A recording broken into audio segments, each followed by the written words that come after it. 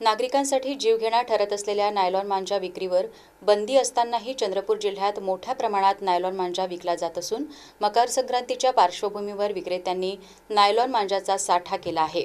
Police अधीक्षक रवींद्र सिंग परदेशी यांनी नायलॉन मांजा विक्रेत्यांवर कारवाईचे आदेश दिल्याने जिल्हाभरात धाडसत्र राबवण्यात येत आहे. दरम्यान रविवारी राजुऱ्यात तर शनिवारी दुर्गापुरात मांजा विक्रेत्यांना अटक करीत लाखो रुपये किमतीचा मांजा जप्त करण्यात आला आहे. स्थानिक गुन्हे शाखेचे पोलीस निरीक्षक महेश कोंडावार यांनी पोलीस उपनिरीक्षक अतुल कावळे यांच्या नेतृत्वात विशेष पथक तयार केले आहे. या पथकाने रविवारी गोपनीय माहितीवरून राजेश येरावार यांच्या गायत्री किराणा व्यावसायिक प्रतिष्ठानावर धाड घालून विविध कंपन्यांचा पन्नास हजार दोनशे रुपये किमतीचा मांजा जप्त केला आहे.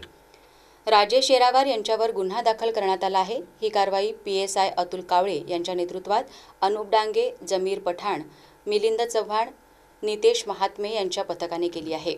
तर दुर्गापूर येथे दुर्गापूर डीबी पथकाने सहा जानेवारी रोजी समृद्धी पतंजली या दुकानावर धाड घालून नायलॉन मांजाच्या दोन चक्री जप्त केल्यात.